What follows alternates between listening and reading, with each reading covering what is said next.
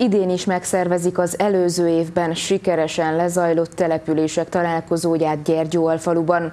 Az Európa a polgárokért elnevezésű program keretében uniós támogatást nyert erre a község.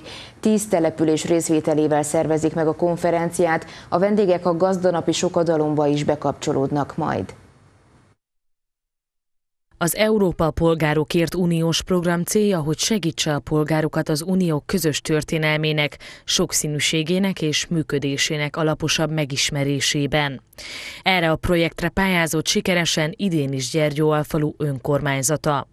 Tavaly a falunapokhoz, idén a gazdanaphoz kapcsolódva szervezik meg az eseményt, melyre 25 ezer eurós támogatást biztosít az Európai Unió. Azért ragadtuk meg ezt a lehetőséget, mert ugye egy nagyszerű alkalom arra, hogy több település is találkozzon egyszerre, és megismerjük egymás kulturális, illetve gazdasági felállását, amiből hát reméljük, hogy legalábbis az a cél, hogy mindenképpen minden település valamit hazavigyen magából, illetve mi is maradjunk valami plusz dologgal. Tíz településről érkeznek majd küldöttségek. Szlovákia, Szerbia, Németország, Olaszország, Horvátország, Lengyelország képviselteti majd magát, Magyarországról pedig több településről is hívtak vendégeket.